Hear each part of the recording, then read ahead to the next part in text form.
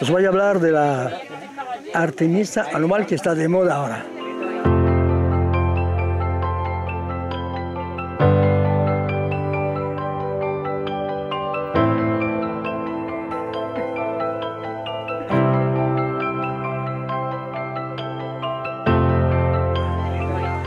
Es el chinjao de los chinos.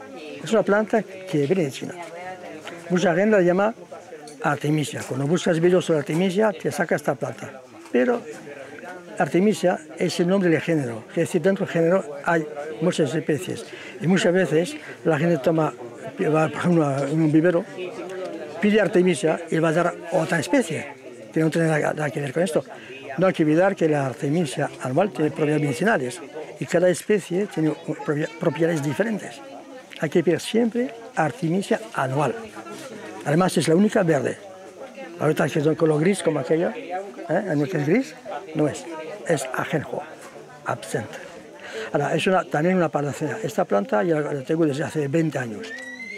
Y antes de, estar de moda como actualmente, se, utilizaba sobre todo eh, para luchar contra la malaria. La malaria se cultiva, mucho en África por culpa de la, malaria. Hay un vivero en, Costa de Marfil, creo, que cultiva solamente esta artemisa, justamente para fines medicinales.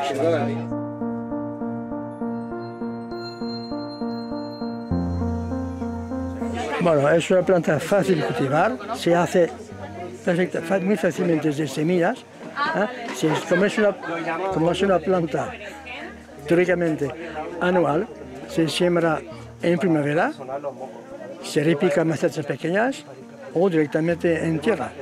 Y en otoño, verano, otoño empieza a florecer y al final del verano, otoño, produce semillas y ya está. es una planta que casi se siembra sola. Casi todas las plantas requieren sol. Lo, importante es que la tierra no se seque. O sea, mantener la tierra fresca, no mojada, fresca. Justo el mínimo de agua. ¿eh?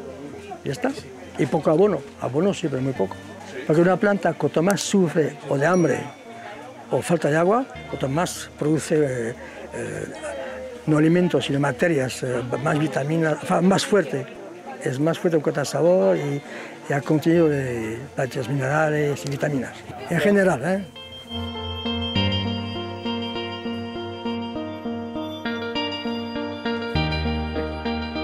Todavía no he visto un estudio que habla de la asociación de la artemisa anual con otras plantas pero no es invasiva, o sea, se puede plantar con más eh, plantas o más hortalizas, pero no, todavía no, no he visto todavía si existe un experimento sobre la asociación de plantas con la artemisia. No he visto. Bueno, siempre como la moringa, hojas frescas, es que lo, bueno de comer las hojas frescas es mejor que infusión, porque la infusión, el calor destruye siempre parte de las propiedades. Entonces lo ideal es hacer una infusión frío, o sea, una maceración. Se mete en agua fría toda la noche y en la mañana se puede tomar. ¿Eh? Yo a mí, como no me gusta mucho el sabor amargo, le echo hojas de stevia para endulzar un poco la, la, tisana. Pero así pues eh, comer cruda, mejor. Cruda y mezclada ensalada o, un plato de verdura, aunque se cocida, esas hojas picadas frescas ideal. Dos o tres pizcas de, hoja picada es suficiente. Bueno, dos o tres hojas se pican y se echa al plato de verdura cocida o la ensalada. Ya está.